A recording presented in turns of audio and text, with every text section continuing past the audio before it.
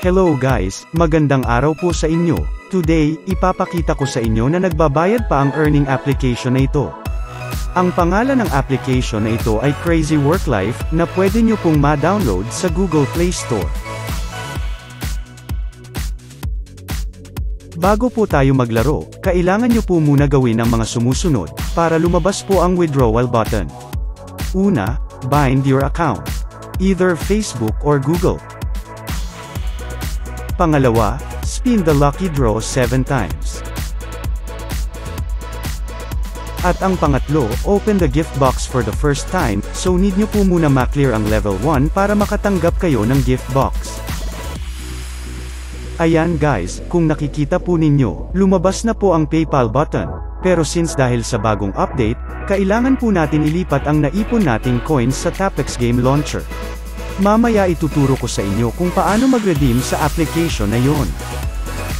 So guys, paano nga ba tayo makakaipon ng coins? Una, makakatanggap po tayo ng 15 coins every 2 hours kapag pinindot po natin ito. Pangalawa, dito po sa Lucky Draw, may 12 chance po tayo para makakuha ng coins. Pangatlo, sa shop po, makakakuha ka po ng 8 coins per video up to 6 chance. Pang-apat, every time na nagli-level up ka, Makakatanggap ka po ng gift box which is may laman po na coins at diamonds. So kailangan nyo pong mag-tap-tap para mag-level up. Pwede din po kayong gumamit at bumili ng power-ups para mapabilis ang inyong pag-usad. At panglima, by inviting friends, makakatanggap ka ng up to 2,000 coins kapag ginamit ang referral code mo. Ito nga pala guys yung invitation code ko.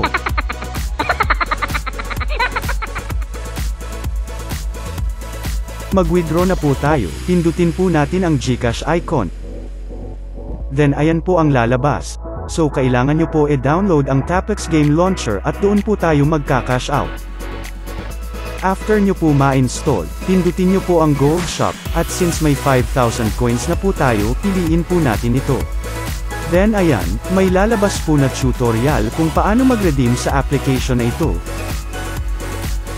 Then pindutin po natin ang bind button and authorize now. After po noon, ay pwede na po tayo bumili ng TXG coins, then punta po muna tayo sa Tap Game Launcher. At ganun din po, kailangan din po natin gawin ang mga sumusunod. Katulad po ng ginawa natin kanina.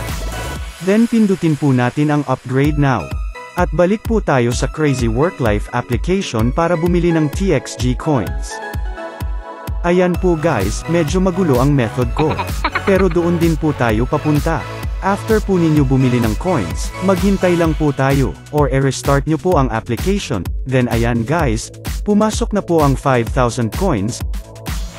Mag-withdraw na po tayo dito guys, pindutin nyo po yung PayPal button, then yung Gcash icon, at input nyo po yung Gcash name at Gcash number po ninyo at bind account.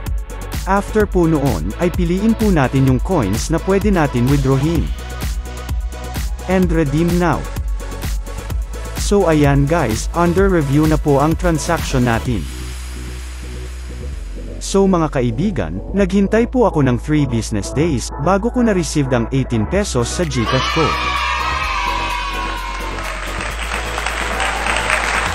Maraming salamat po.